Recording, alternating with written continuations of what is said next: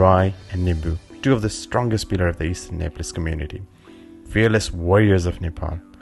And I sneaked into the private festival for a sole reason to explore and understand the Nepalese culture.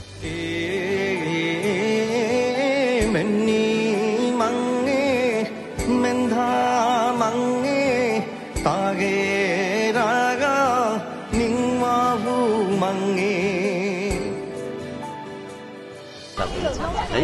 यो राईको छाप हो यो। यो बिनाएको खोल हो। ए यो मचुङ्गो खोल यो बिनायो होइन यो धजुरा। यो लगाएपछि चाहिँ राई चिनी हो जस्तो त्यहाँ लिम्बूहरूको हेर्नु होला। त्यस्तो त्यसलाई सिलाम साथमा भन्छ। त्यो लगाएपछि लिम्बू रहेछ भनेर चिनिनु पऱ्यो म राई भनेर यसो गर्न परेन नि। यो यो हाम्रो चिन्ह है। This video is basically my impression, my understanding, and my complaints. But for that, you gotta stick to the end. So keep watching, guys.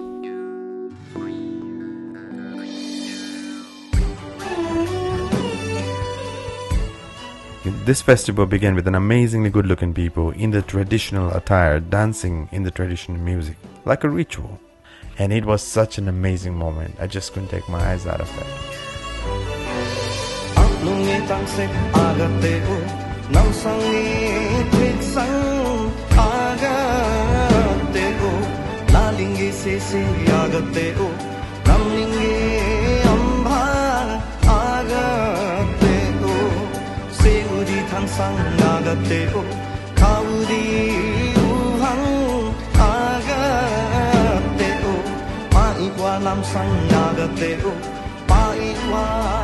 अब पहिला पहिला बुढापाकाले भन्नुहुन्थ्यो उँधौली सुरु भएछ आजदेखि भन्नुहुन्थ्यो चराचुरुङ्गीहरू पनि समुद्रतिर जान्छन् अरे माछाहरू पनि तलतिर झर्छन् अरे। अनि यो चाहिँ उँधौली सिजन हो अनि यो उँधौली सिजनमा चाहिँ हामीले हामी राईहरू प्राकृतिक पूजक हौँ। हामी देवी देवताहरू भन्दा पनि हामी खोला नाला माटो ढुङ्गा देवी देउरालीहरू हामी पुज्ने गर्छौँ होइन? पुज्ने गर्छौँ। अब अहिले चाहिँ अब यसरी हामीले यो उँधौली मनाइराख्दाखेरि यो अब मङ्सिरे पूर्णिमा हामीले सबै लगाएको अन्नबालीहरू सबै थन्काएर र यो उँधौली लागेको उपलक्ष्यमा यी सबै कार्यक्रम गरिसकेपछि हामी यो उँधौलीको यो धन्दै पूर्णे हामी मनाउने गर्छौँ। र हामी यसरी नै उँभौली लाग्दाखेरि पनि वैशाखे पूर्णे भन्छ त्यतिखेर पनि हामी गर्छौँ। र अब यसरी पर्व मनाउने कार्यक्रममा हामी ढोल झाम्टाहरू आफ्नो बाजागाजा सांस्कृतिक हाम्रो जातीय बाजागाजा हामी बजाएर नाच्छौँ। बाजागाजा बजाएर नाच्नुको कारण चाहिँ के हो भनेर भन्नुहुन्छ भने धरतीमा त सुतिराखेको हुनुहुन्छ सुतिराखेको भएको छ। भएको अवस्थामा अब कसरी त उठाउने त? सुतेको मान्छेलाई कसरी उठाउने त भन्ने कुरोमा हामीले ढोल झम्टा बजाएर नाचगान गरेर खुसी बनाएर धरती मातालाई हामी उठाउँछौँ उठाएपछि अनि हामी अन्नपात पा अन्नपातहरू लाउँछौँ बालिना नै लाउँछौँ बालिना लगाइसकेपछि अहिले यसरी भित्राउँछौँ भित्राइसकेपछि अब फेरि फेरि यसरी धरती मातालाई खुसी बनाउँछौँ हामी। नाचगान गरेर ल तपाईँले चाहिँ हामीलाई अन्नपात दिनुभयो। शुभ होस् स होस्। लक्षण होस् सधैँ तपाईँले यसरी रक्षा गरिराख्नु पऱ्यो हामी हामी तपाईँहरूलाई सधैँ नै यसरी सम्झिराख्छौँ भनेर हामी फेरि ढोल झ्याम्टा बजाएर हामी फेर चाहिँ यो सबै कार्यक्रम गर्छौँ। अब यो हामीले त्यहाँ सेउले पनि गाड्छौँ नाच्दाखेरि बिचमा। अब सेउलीको अर्थ चाहिँ मैले बुझेअनुसार एउटा समूह समूह भनौँ न पल्लो डाँडा ओल्लो डाँडा समूह समूह थुमथुमको मान्छे। अब थुमथुमको मान्छे भेला हुन सकिँदैन होइन? सबैजना भेला हुन सकिँदैन। अनि त्यो सेउली गाडेर यसैलाई थुम मानौँ होइन? भएको यसरी नै बसेर सबैजना बसेर रमाइलो गरौँ भनेर त्यसरी हामी फेरि संस्कारको कुराहरूमा त्यसरी गर्छौँ। मङ्सिरमा पर्छ उँधौली होइन? यो हामीले उँधौली गरिराखेका छौँ।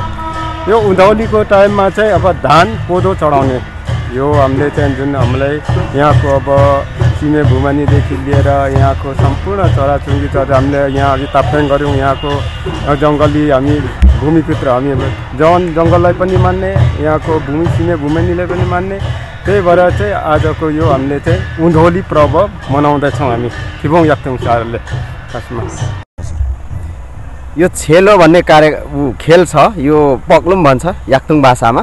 यो चाहिँ एउटा हाम्रो यो पहिला सृष्टिकालमा जब तागेर निगाफु माङ मुजिले सृष्टि गर्यो। मानव सृष्टि भएपछि जब मानवहरूलाई बचाउनुको लागि जब यहाँ एकदम घामको प्रकाशले एकदम के नहुँदाखेरि पानीको आवश्यकता पर्यो। त्यतिखेर चाहिँ यो पोरकमी यम्भामी माङले चाहिँ पानी सृष्टि गर्नुको लागि चाहिँ उसले छेलो हानेर चाहिँ माथि ठोकाएर त्यो ब्राह्मणलाई जब त्यो सिँचाइको आवश्यकता पर्थ्यो। त्यतिखेर जब ठोकिँदाखेरि चाहिँ त्यसको त्यसको उसले गर्दाखेरि तरङ आएर चाहिँ मेघ गर्जन साथ त्यो हावा बुता बतास बादल हुँदै गरेर पानी आयो। पानी आएपछि चाहिँ जब कृषि युग सुरु भयो। कृषि युग सुरु भएपछि चाहिँ यहाँको जब मानव बस्ती भयो हामीले त्यहाँदेखि कृषि खेती ला बाली लगाउन सुरु गऱ्यौँ। अनि त्यहाँदेखि जब तागेरा निगफुमा माङले मानव सृष्टिलाई बाली लगाउन लायो तर के भने धेरै जनावर जङ्गली जनावर चराचुरुङ्गीहरूले चाहिँ अत्याधिक दुःख दियो। अत्याधिक दुःख दिएपछि चाहिँ के भनेपछि ता तागेरा निगफुमा युमा माङलाई चाहिँ पुकार गर्यो। जब यो बाली पाकेपछि चाहिँ हामी चासोक तङनाम चा भनेको लिम्बू भाषामा अन्न। अन्नलाई चाहिँ हामी चढाउँछौँ भने सोक भनेको चढाउनु। अनि हामी अन्नलाई चाहिँ तागेर निङ्गफुमा माङलाई चाहिँ हामी यो उँधौलीमा चढाउँछौँ भनेर उनीहरूले भनेपछि त्यहाँबाट त्यो भाकल गरेर अनि चासोक तङनाम त्यो चढाउनु थाल्यो उनीहरूलाई चासोक गर्नु थाल्यो। त्यहाँदेखि चाहिँ अन्नहरूलाई संरक्षण गर्नुको लागि चाहिँ यो तागेरा निङ्गफुमा माङलाई चाहिँ यसरी पुकारेर अन्नलाई चढाउने चाहिँ हाम्रो यो प्रथा बसेर चाहिँ हामी जति भूमिपुत्र यो याक्थुङहरू छौँ हामीले चाहिँ जहिले पनि अन्न पाकेपछि चाहिँ यो चढाउनेलाई चाहिँ चासोक तङनाम भनेर चाहिँ हामीले यो मङ्सिरमा जहिले पनि मनाउने गरिन्छ।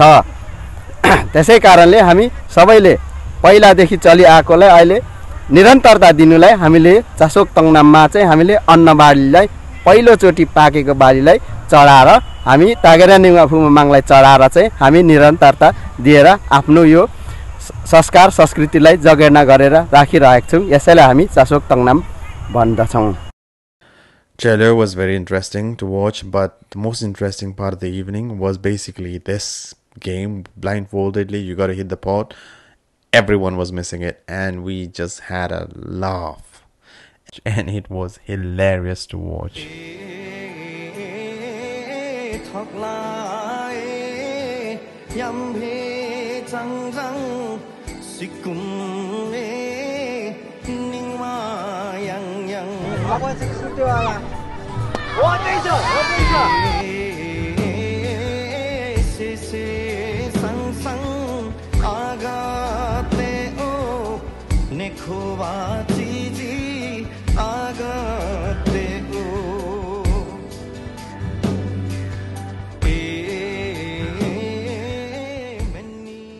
So basically, this is what I have to say. So I plead guilty to being one of those Nepalese who knows everything about Christmas, Easter, Ramadan, Eid, a holy chart, uh, Besaki, but I have no clue about the festivals of my friends who I grew up with playing marbles. Like for example, Udoli, Uboli, Losar.